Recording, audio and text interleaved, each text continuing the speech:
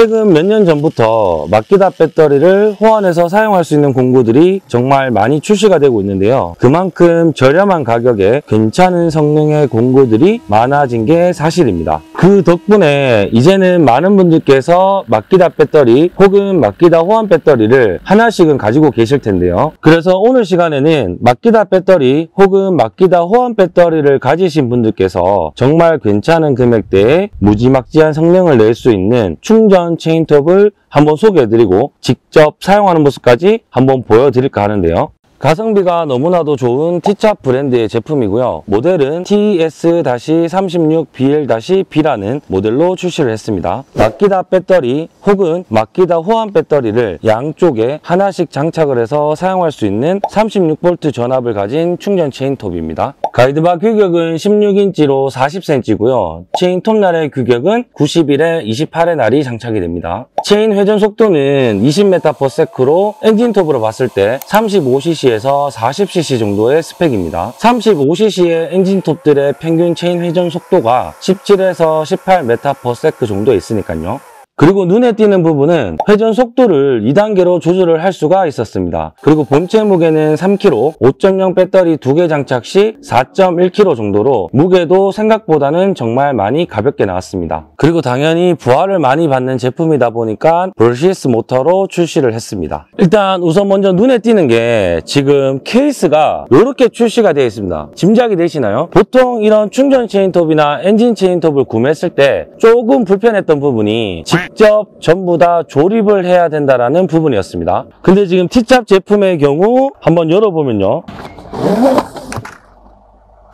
자, 이렇게 체인 장력이 조절된 상태로 바로 배터리만 꽂고 체인 오일만 주입하고 사용하실 수가 있습니다. 이게 지금 굉장히 사소해 보이지만 처음 엔진톱을 접하시거나 충전톱을 접하시는 분들이 조립을 하는데 많은 애를 먹는 게 사실이거든요. 근데 지금 이렇게 구매하셔서 배터리만 바로 장착해서 사용을 하시면 된다는 점은 굉장히 편리하게 나온 것 같고요. 지금부터는 제가 이 제품을 가지고 지름이 한 20cm 정도 되는 것부터 30cm가 넘어가는 것까지 직접 잘라보면서 또 말씀을 드려볼게요.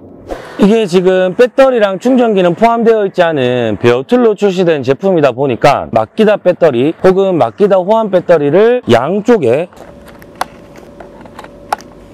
이렇게 장착을 해주시고요. 배터리 두 개의 잔량이 똑같아야지만 사용할 수 있는 시간이 길게 가져가실 수가 있습니다. 만약에 한쪽에는 완충인데 한쪽에 적다라고 하신다면 이 적은 기준으로 같이 배터리 소모가 되기 때문에 사용 시간이 줄어들 거기 때문에 항상 배터리는 양쪽 다 완충을 하셔서 장착을 하시고요. 자 그리고 체인 오일을 주입해 주셔야 됩니다. 엔진 오일을 넣으셔도 되고요. 체인 오일을 넣으셔도 되는데 이쪽에다가 체인에 오일이 묻어 나와 나오게 오일을 가득 주입해 주십니다.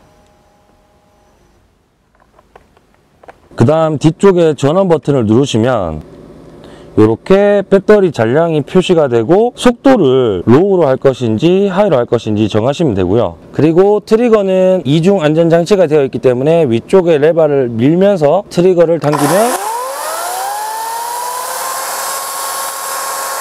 이렇게 작동이 되는 방식입니다. 그리고 충전 체인톱이나 엔진 체인톱 모두 마찬가지인데요. 위쪽에 체인 브레이크가 내 몸 쪽으로 당겨진 상태에서만 체인이 돌아가게 돼 있고 앞쪽으로 밀려져 있으면은 자 이렇게 삐삐 소리를 내면서 트리거를 당기더라도 작동이 되지 않습니다. 그래서 사용을 하실 때는 꼭 이 체인 브레이크를 내 몸 쪽으로 당긴 상태에서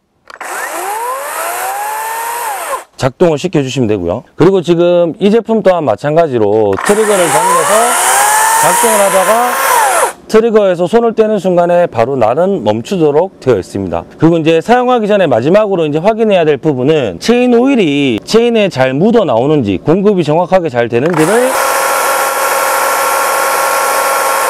자 이렇게 체인 오일이 공회전을 시켰을 때 정확하게 잘 공급이 되는지 확인을 하시고 사용을 하셔야 됩니다. 자, 첫 번째는 지금 지름이 대략 14cm 정도 되는 통나무를 먼저 한번 잘라 보겠습니다. 지금 guide bar의 길이가 40cm이기 때문에 최대 한 30cm까지는 충분히 절단이 될 것으로 보이는데 차근차근 한번 올라가 보겠습니다. 자, 일단 전원을 켜고 제가 항상 말씀드리지만 이 회전을 하면서 무언가를 자르는 공구는 항상 1초에서 2초 정도 있다가 회전하는 속도 속도가 최대 RPM에 도달하면 그때 모재에다가 가져다 주셔야 돼요. 이것도 마찬가지. 제가 트리거를 당기고 한 2초, 1.5초 후에 자, 지금 잘라보겠습니다.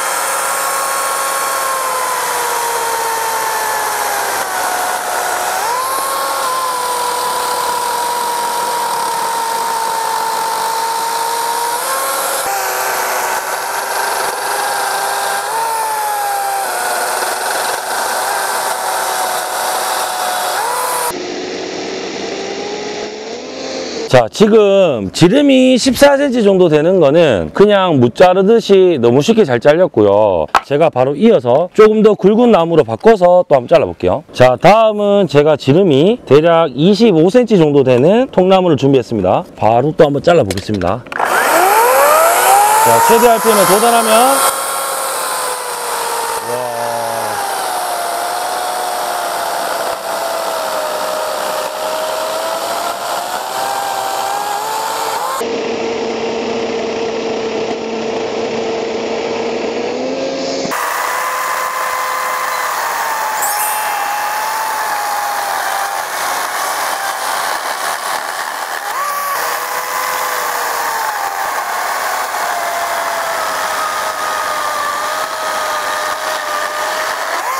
되는 나무도 일단은 부드럽게 잘 잘렸습니다. 이제 마지막으로 한 30cm 정도 되는 나무까지 제가 준비를 해놨기 때문에 한번 잘라보겠습니다. 지금 바꿔서. 자, 이번에는 지름이 정확하게 딱 30cm입니다. 정말 큰 지금 통나무고요. 이 정도까지 자를 수 있으면 엔진톱 한 40cc에서 45cc 정도까지의 능력을 가지고 있다고 해도 무방하거든요. 한번 가볼게요.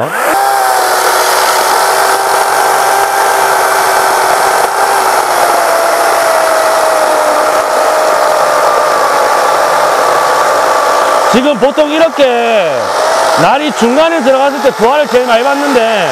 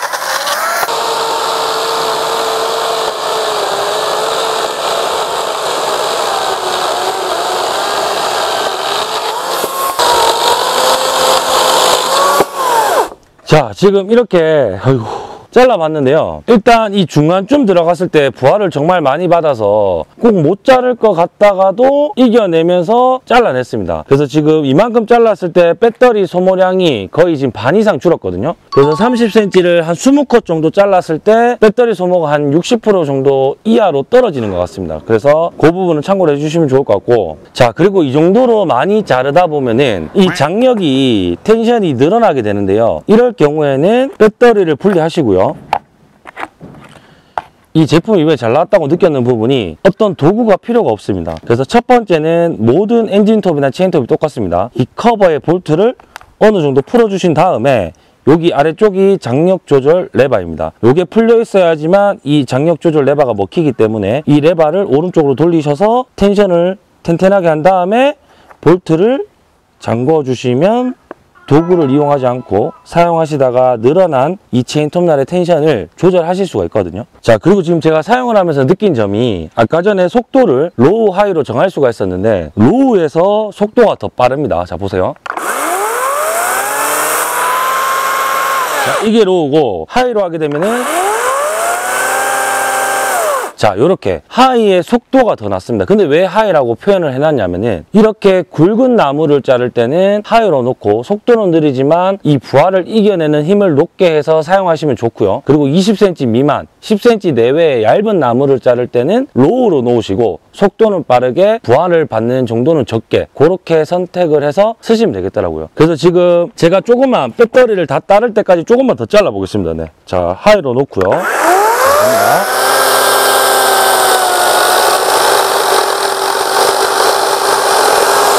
이렇게 자르다가 이 중간쯤에 올때 뭔가 못 잘라야 될 것 같은데?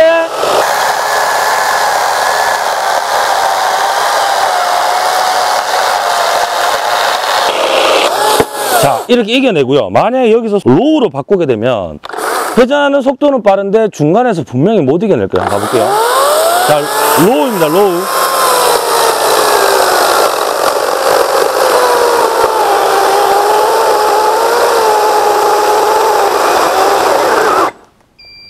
자, 요렇게.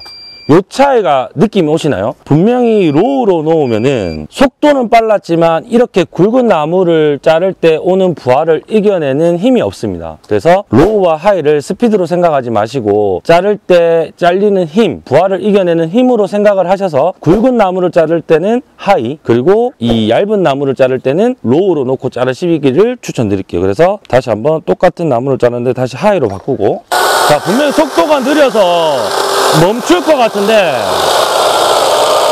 이건 제가 힘으로 밑으로 누르고 있어도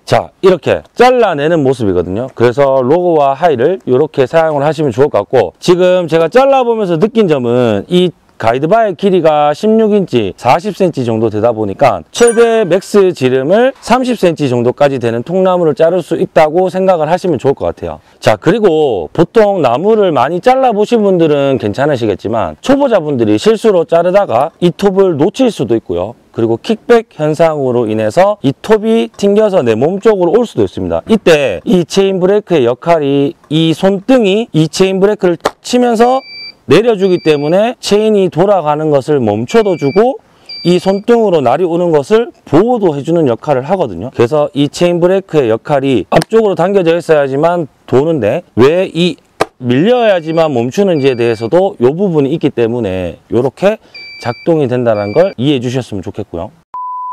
지금 만약에 마키다 배터리나 마키다 호환 배터리를 가지신 분들이라면 제가 정말 적극적으로 추천을 드릴 수가 있을 것 같아요. 이 지금 bare tool 기준 10만원 중반선 정도밖에 가 있지가 않거든요. 그래서 내가 가진 배터리를 꽂아서 이 정도의 스펙으로 사용할 수 있는데 반의 금액이 10만원 중반대라면 너무 메리트가 있을 것 같고요. 그리고 평소에 괜찮은 충전 체인톱을 찾으시는 분들조차도 지금 T찹 정품 배터리 두개 그리고 충전기 포함으로 사시더라도 20만 원 중후반 정도면은 풀세트로 구매가 가능하거든요. 그리고 T찹 제품이 좋은 점이 전 제품 모두 다 구매를 하셔서 사용을 하시다가 고객 가실이 아닌 이상은 1년 동안은 또 무상 AS가 지원이 되니까 그리고 지금 커팅할 수 있는 횟수도 또 중요하게 생각하실 텐데요. 기준은 마키다 18V의 5.0A 배터리를 두 개 장착했을 때 기준 15cm 정도 되는 나무를 한 100컷에서 150컷 사이 정도로 자르실 수가 있고요. 그리고 25cm 정도 되는 나무를 70컷에서 100컷 사이 정도로 자를 수 있다고 생각을 해주시면 좋을 것 같습니 다. 같습니다. 그리고 좀 한 가지 아쉬웠던 부분은 이 배터리를 양쪽에다 장착을 하는데 배터리의 용량이 다를 경우에는 적은 쪽의 기준으로 사용 시간이 줄어들게 됩니다. 그래서 항상 사용하실 때는 양쪽 다 배터리를 완충한 상태에서 사용을 하셔야지만 가장 긴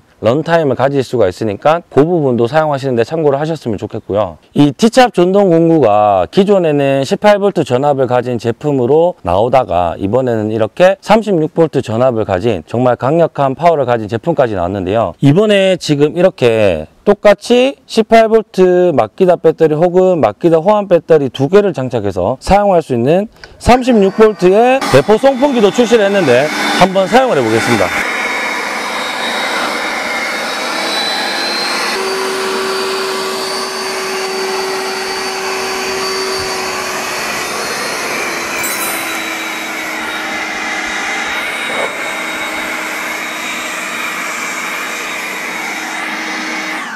자 이렇게 앞으로 계속해서 T샵에서는 18V 전압을 가진 전동 공구들도 물론 출시가 될 것이고 36V 전압을 가진 제품군들도 다양하게 나올 예정이라고 합니다. 그래서 앞으로도 T샵 전동 공구의 제품들이 어떤 것들이 나올지 굉장히 기대가 되고요. 그리고 오늘 지금 제가 이 사용한 충전 체인톱을 한번 보시고 내가 지금 충전 체인톱을 사용할 상황에 처해 있다. 한번 사용해보고 싶다고 하시는 분들 중에 세 분께 지금 사용한 제품을 포함해서 배터리 두 개 충전기 포함 풀세트로 나눠 드리려고 합니다. 그래서 늘 하셨듯이 영상 하단에 링크를 터치하시거나 클릭하시고 집 주소, 성함, 전화번호를 남겨주시면 신청이 완료되니까 많은 분들께서 또 참여를 해주셨으면 좋겠고요. 진짜 갈수록 이 전동 공구, 무선으로 할 수 있는 공구들이 정말 발전을 하고 있고 다양하게 나오고 있는 것 같습니다. 혹시나 이 내가 사용하고 싶어하는 공구를 선택하실 때 선택의 폭이 조금이나마 넓어지실 수 있게 되었으면 좋겠고요. 오늘도 이렇게 긴 영상 시청해 주셔서 감사하고 저는 또 다음 편에 좋은 영상으로 찾아뵙는 공구 브라더스가 되겠습니다. 감사합니다.